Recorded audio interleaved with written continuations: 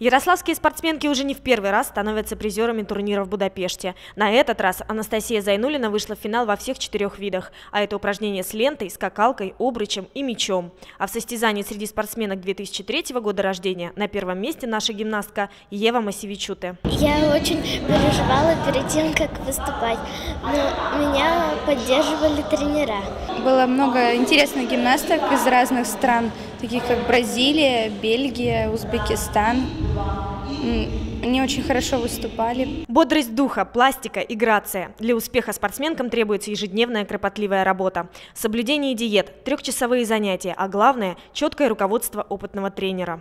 Аккуратненько, а глазки добросить. Наши девчонки а, очень хорошо выступали.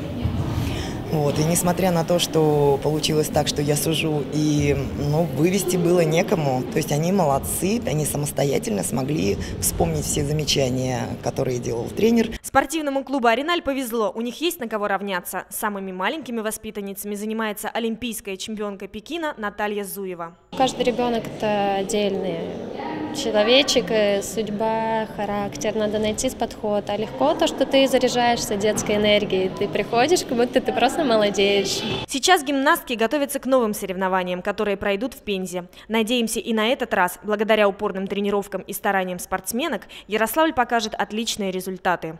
Юлия Кузнецова, Анатолий Сахаров, Я Новости.